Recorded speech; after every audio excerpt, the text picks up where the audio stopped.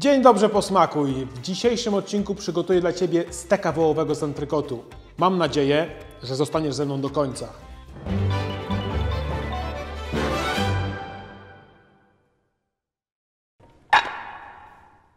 Drodzy mięsożercy, dzisiaj odcinek dla Was.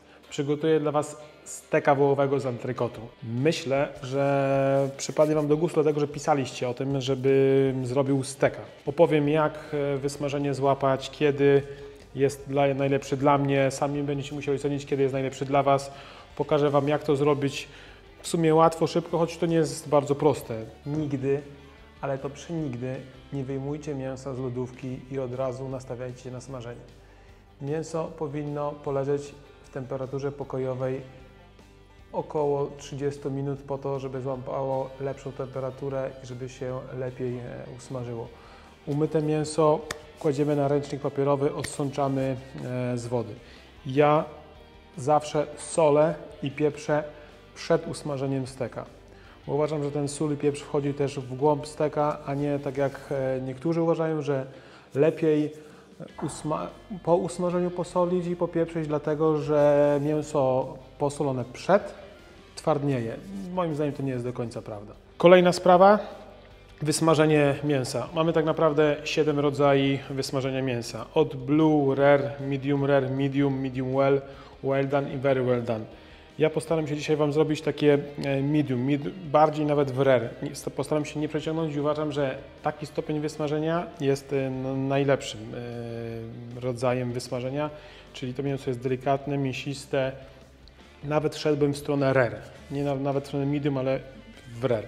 Dodaję odrobinę tłuszczu z jednej i z drugiej strony. Nie będę musiał dodawać na patelnię. Jeśli mm, używacie to bardzo dobrej soli, e, albo morska, albo nasza polska kłodawska.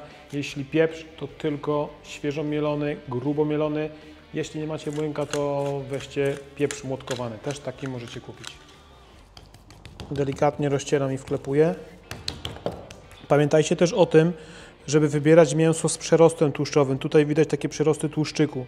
Takie mięso jest najlepsze i moim zdaniem antrykot to jedna mm, z piękniejszych części woła e, pod steka. Ja już widzieliście, nasmarowałem mięso tłuszczem, dałem soli, pieprzu i tutaj mam już mocno rozgrzaną patelnię, która tak naprawdę dymi. Za moment wrzucam steka, E, w międzyczasie odwrócę oczywiście, dodam sobie ząbek zgmiażdżony czosnku, dodam troszkę liści tymianku i na koniec, podbiję e, masłem, które będzie się stapiało na, na steku i podleję kilka razy steka z góry.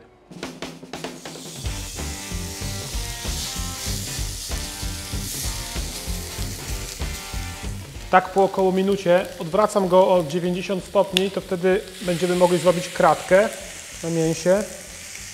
Przerzucam steka na drugą stronę. Zobaczcie, ładnie wyszła kratka.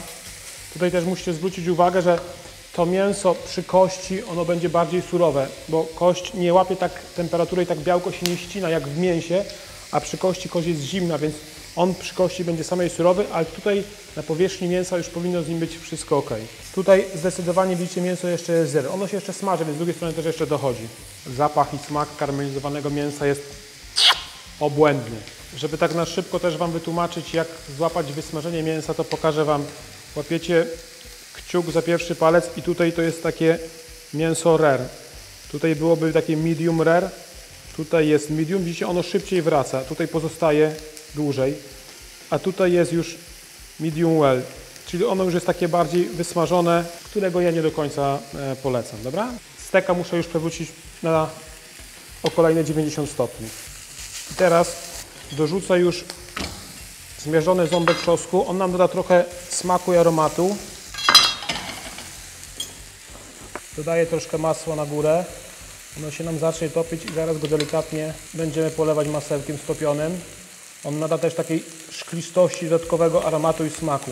Tutaj już wychodzi nam e, osocze białko, to znaczy, że już mięso powinno być medium. Ja już za momencik będę ściągał steka.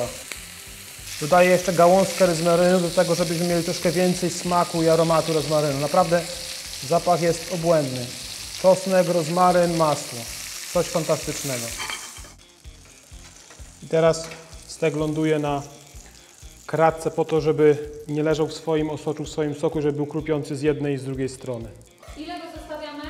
No, 2-3 minuty on odpocznie, soki przestaną buzować, wchłoną się w strukturę mięsa i będziemy mogli już podawać. Stek odpoczął i możemy go już teraz pokroić. Wrzuciłem jeszcze pomidorki szerem tej samej patelni, lekko posmażyłem, jest też naprawdę, jak na grillu będziecie robić, to też sobie gdzieś tam jeszcze jakieś warzywka przygotujcie. E, Przecinając e, steka od kości będziemy widzieli e, różne e, tak naprawdę wysmażenie, bo przy samej kości będzie taki rer, a potem będziemy podążali w stronę e, delikatnego wysmażenia. No, zwróćcie też uwagę, jeśli macie na przykład termometr, to możecie zmierzyć w środku mięsa temperaturę wysmażenia. Jeżeli macie około tak 50-52 stopni, to macie rare, około 60-62 to macie medium, a tak powyżej już 70-72, no to już jest stek wysmażony i tego rodzaju mięs nie polecamy, dlatego że ono już jest, nie jest tak soczyste, nie jest tak dobre, nie, nie ma już takiej wyrazistości. W niektórych restauracjach nawet kelner jest w stanie powiedzieć, że nie poleca i nie poda e, tak wysmażonego mocno mięsa. Czas na próbę.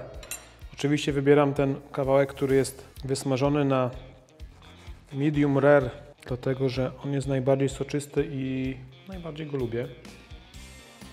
Mhm. Pycha. Soczyste, przede wszystkim soczyste, słone, pikantne, bardzo, bardzo mięsne. Aromat podsmażonej wołowiny z czosnkiem, rozmarynem ekstra. Bardzo udany stek. Bardzo proszę nie zapomnijcie o subie i o lajku, po to, żeby więcej osób mogło obejrzeć ten film. Zostawcie też komentarz, czy chcielibyście, żebym na przykład przygotował dla Was steka z polędwicy wołowej. Widzimy się już w kolejnym odcinku. Cześć! A jeśli masz ochotę na inny mięsny przepis, to bardzo proszę kliknij tutaj.